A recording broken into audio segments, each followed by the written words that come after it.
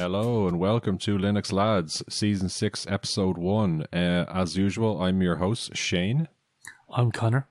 And I'm Mike. That was a bit uh, prima donna of me to say your host, I guess. Um, you guys are hosts too.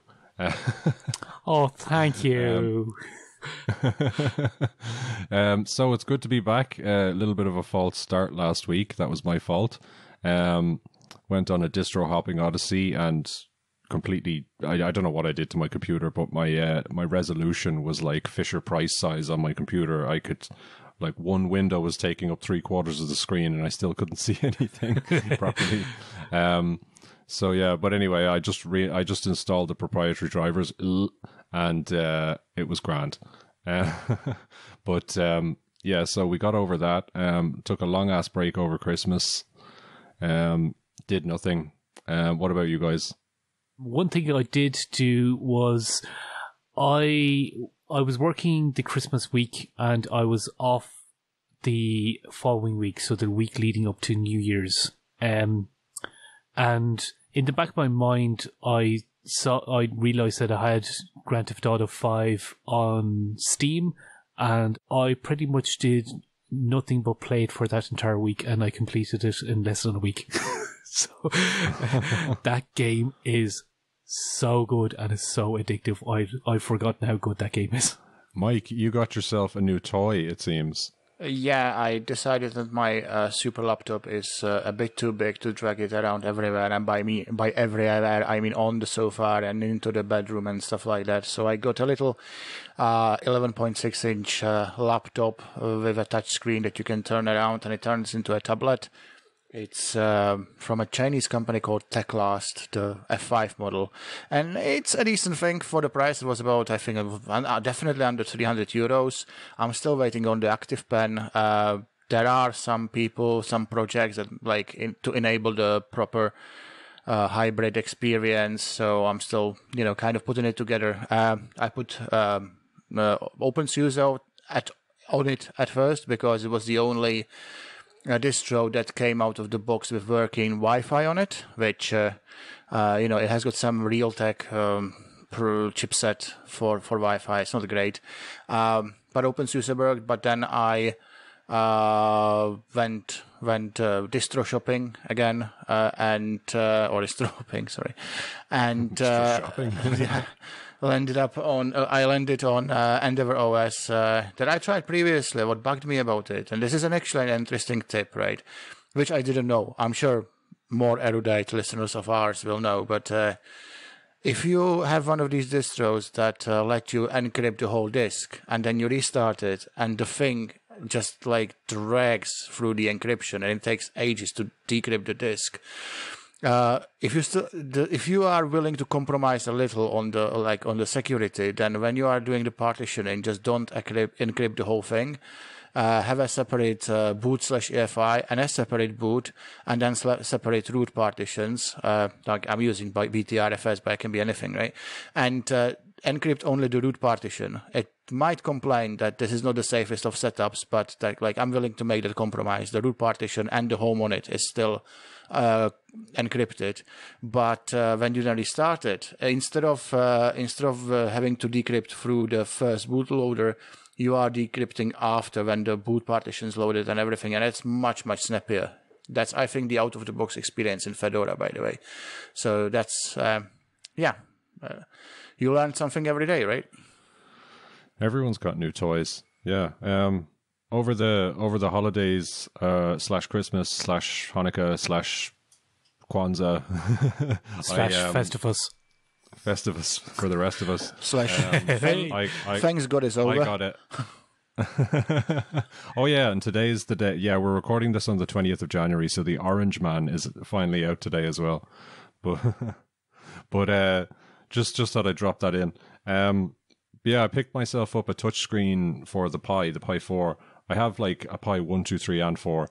So I just thought, I, if I want to use the touchscreen, I want this to be like a little mini computer thing. Then I'm going to put the Best Pi in there.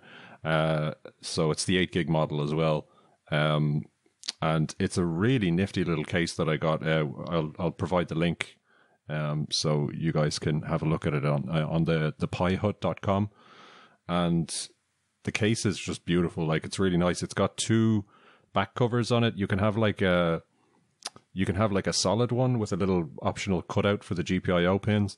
But the one that I put on it is one with holes in it for ventilation. But then it's also got like a little tiny fan that uh that's that goes into the GPIO fin fins pins, and uh, yeah, it doesn't actually make too much noise. And what's really nifty is you can, depending on what uh, headers on the GPIO you put it on, it can be either high speed or low speed. You you so you put it on like the three point three volt rail or the five volt rail, and then the other one on a, on a ground pin. There's several ground pins, so it's grand. You have choice, but yeah, it's really nice. I put on low speed, obviously, because I don't really feel the need to cool a Pi all that much. I know they, I know the Pi Four gets hot, but I don't think it's going to get that hot.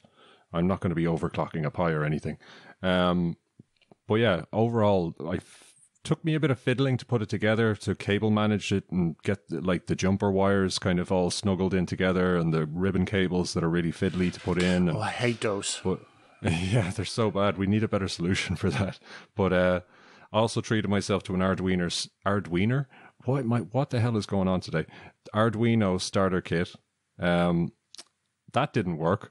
Can't get can't get the I can't flash the sketches to it because it just can't. My computer can't see the Arduino. It can't communicate with it. So I'm going to have to come back to that. I've only tried it once, so I'll uh, provide updates on that in the next episode.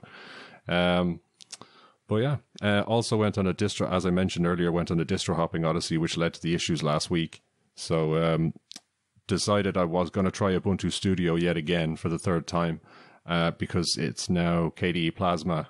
Uh, they have a KDE Plasma version, or they moved to it like there was XFCE beforehand, but now it's KDE Plasma. I thought, hmm, maybe they'll, maybe they, maybe it's okay now. Maybe it's time for me to finally get get get into KDE again, and because I've always loved the idea, but I just can't do it. And yeah, I lasted a week on Ubuntu Studio KDE Plasma version because it's uncanny valley for me. There's just something wrong, but I just don't know what it is. Did you guys know what I'm talking about there? I mean, I know you guys like KDE, but there's just I don't know. There's something I just can't put my finger on it. I think KDE doesn't hide away uh, problems. That's I think that's part of it. Yeah, it it like there are some options where you're like, who the fuck would possibly like want? I know I appreciate that the option is there. I'm like, that's really nifty that they they have an option for that, and it's very clever. But it's just, can I have an optional toggle to hide all of these things when I don't need them? That's the second thing, right? So they give you options, and uh, so it was like uh, there was somewhere today on uh, Linux Unplugged or Action Action News um, earlier.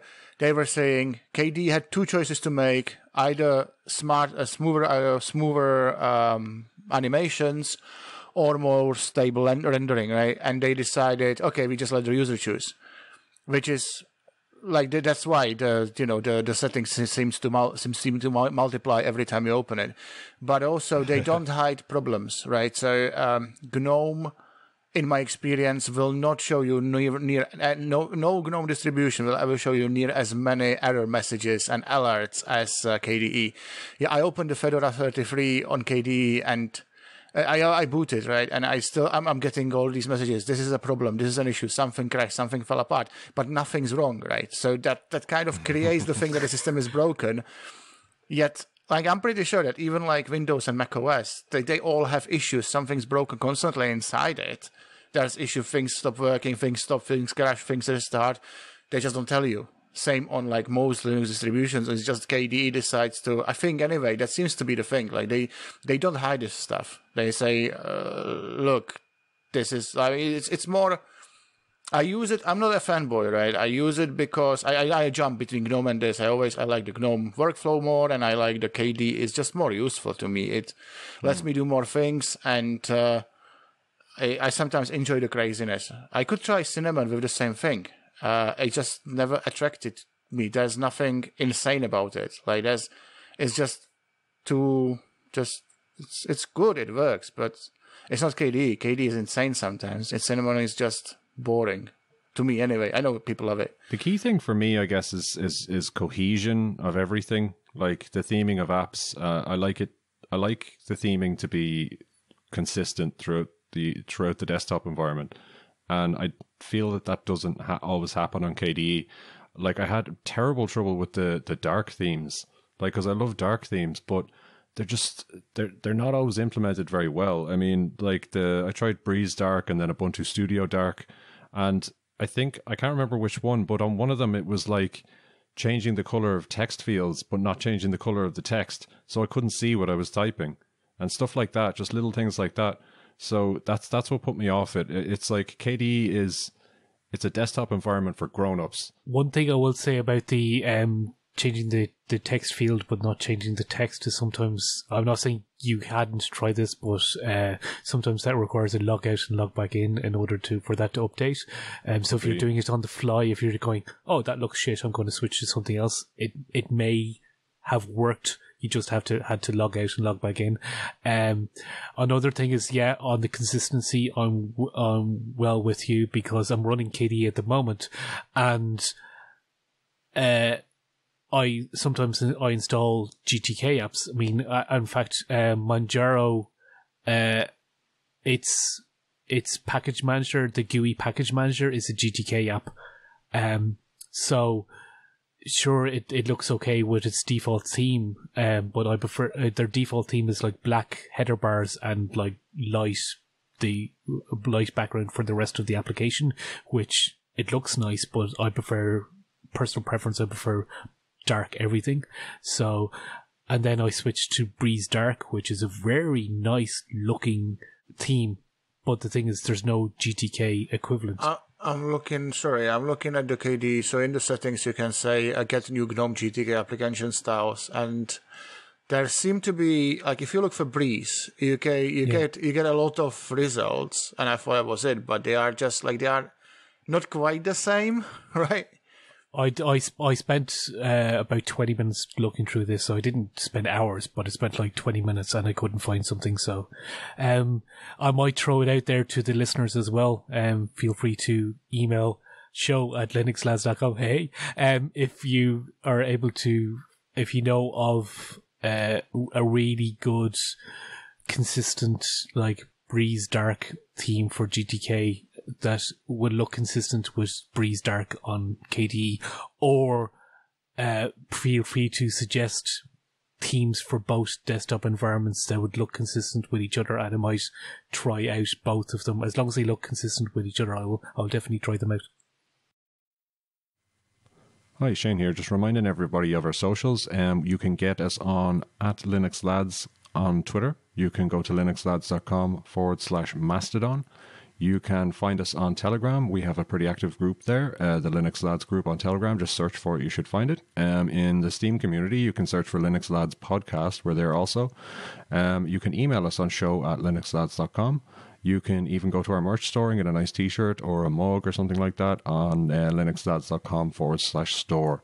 If you want to just sling us a small donation towards our server costs or anything like that, uh, you can go to linuxlads.com forward slash donate. Okay, back to it.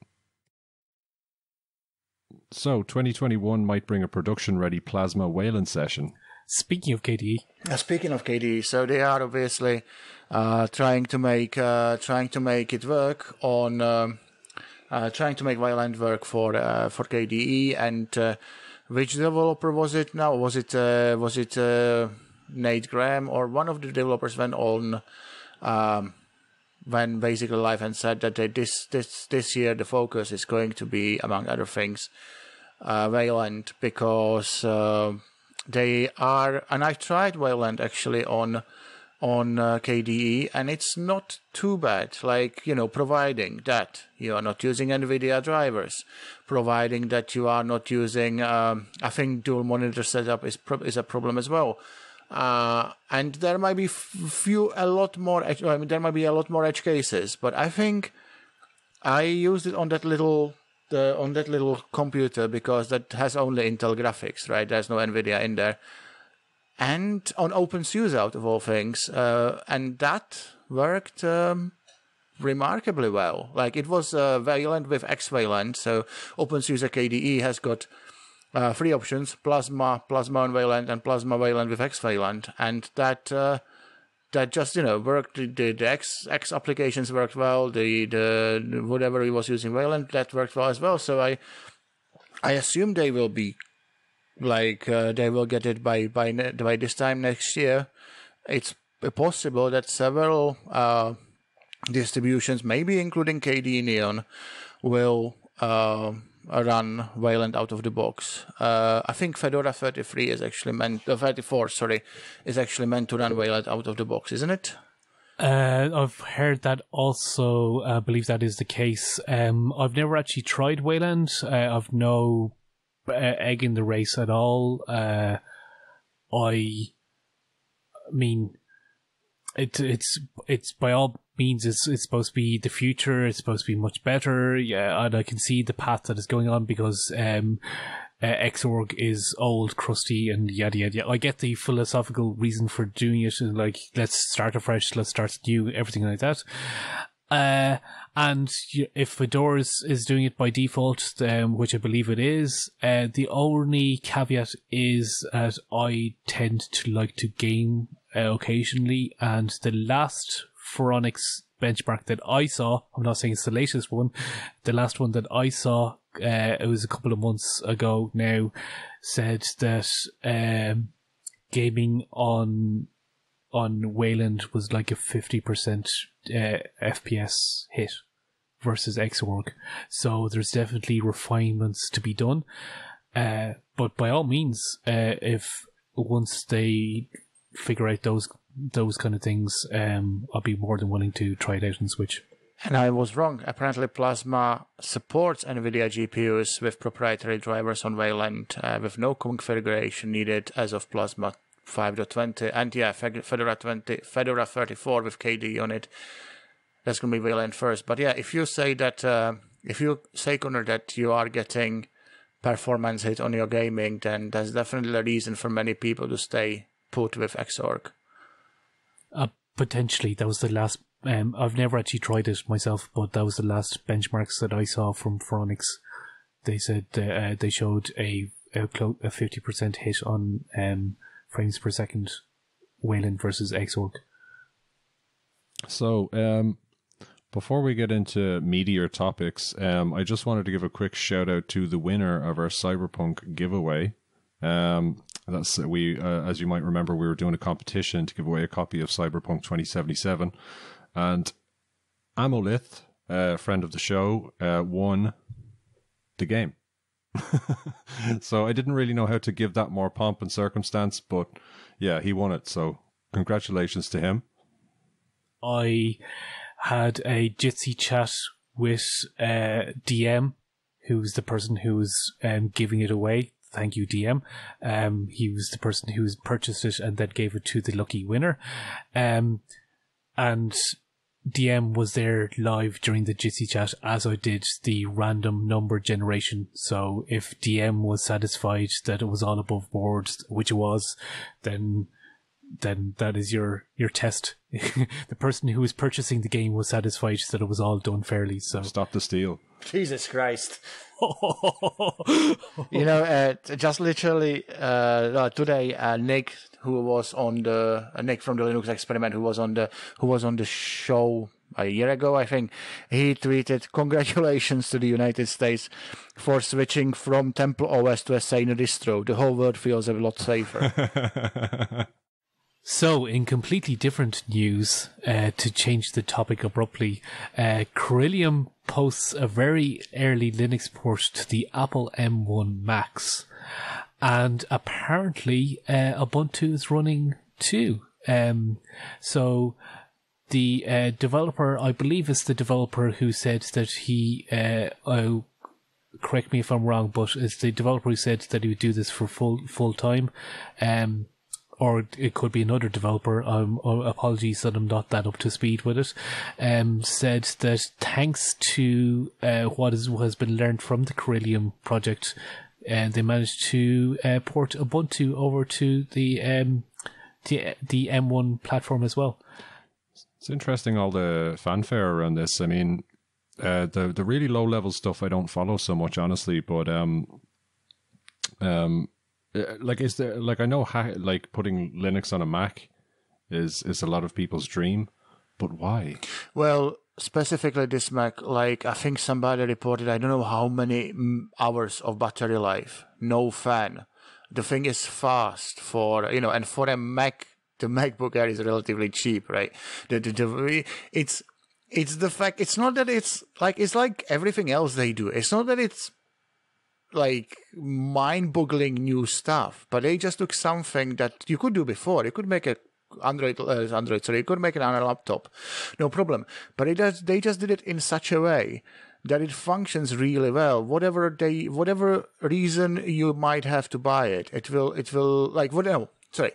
For the for, for the use cases that this is that those devices are made for, portability, uh, battery life, uh, performance per uh, you know performance per watt, stuff like this, it will function really well. Like Mike, Mike Dominick from uh, Coder Radio bought one, and he's smitten with it. Right, so uh, that's probably until he manages to pour some beverage into it as his, his way. But uh, so so the thing is.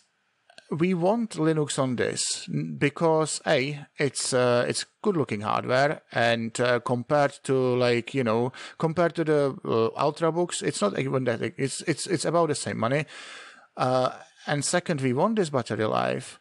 And uh, we want to be able to do this on this laptop because if this is where the industry is heading and everybody's going ARM, well, that's going to be a shit show because uh, ARM is much more locked down uh, platform than, than x86. So you need the driver. Every Linux on every ARM is a different thing. So you will need uh, if we and if if if if the projects that are working on this will manage to run uh, Linux on on Apple hardware out of all things, then everything else should kind of work. And that's a good thing, right? Plus, people are just interested in doing that. That's the new sexy thing. What do you do? Oh, I think if I could, I think I could put a Linux, Linux on it. There put was some Linux on it. there was somebody saying like, no, we shouldn't do that. We should, we should definitely pull our resources and make sure that we put resources to the, to, to, to a better go. No, people like to do what they like to do. That's what Linux is I about. I suppose if you put a stick a transistor to a rock, people will try to put Linux yeah. on it. It's good. a toaster. Awesome. I'm not one to uh, needlessly or frivolously defend Apple, but I will in this case. Was apparently the um, and it's not just apparently the the benchmarks are out there. Um, they hired the right people who are CPU architecture experts and everything like that, and they have pulled off legitimately uh, industry scaring um, performance out of this thing. The, like it's rivalry, rival, uh, rivaling uh, current Intel and um, AMD uh, top end processors, uh, and so their their their uh, performance co-, co or their performance um, curve is gone up exponentially. In other words, they, they're saying, okay, they, they should not have progressed in performance this quickly, this this fast. And the reason why is because they're developing it all in house, and they they have the CPU architecture uh, experts. Uh, made the relevant acquisitions, they made the relevant hires, they made the relevant whatever, and they've been working on this. So this has been a long time coming. So this is not the usual Apple um, snazzy marketing around uh, mediocre hardware or or average. I'm definitely sold on Macs as hardware. Uh, I do like, I do love using. It was a, it was a totally leading question. I just wanted to see what you guys thought. they actually enabled people to put to boot custom kernel on it. Like I think a few days back, they they literally so so you can. This is this this whole thing put in Linux on the M1 they could have kind of prevented it by the way. Yeah they could have said no you you cannot run because they do that on the ios devices. You cannot put linux on ios. Well no actually that's right.